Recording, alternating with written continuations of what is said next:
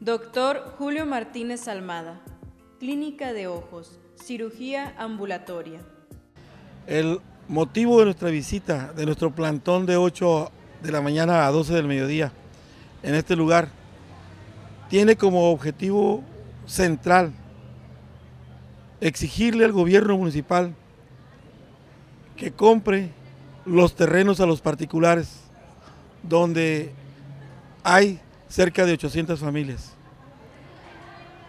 Que compre esos terrenos y los venda a precios módicos y a plazo a quienes ahí están habitando. De manera fundamental como colonia de expropiación petrolera. Es la demanda central.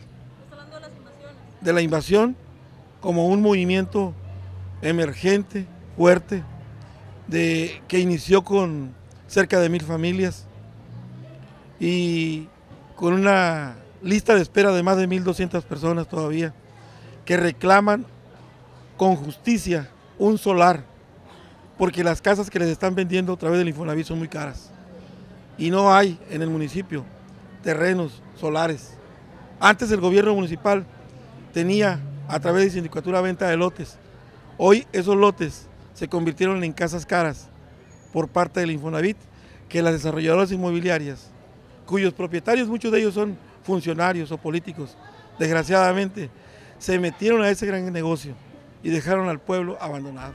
Doctor Julio Martínez Almada, Clínica de Ojos, Cirugía Ambulatoria, 42 24300, Hidalgo, número 106 Poniente, en Ojoa.